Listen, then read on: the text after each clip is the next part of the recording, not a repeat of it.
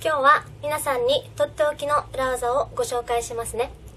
車をフェリーで運ぶ時って結構高くて何万円もしますよね。ところが半額料金を売り物にしているフェリー会社を使うと5割近くも安くなります。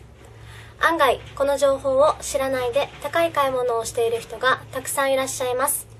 半額情報を知りたい人は今すぐお電話を。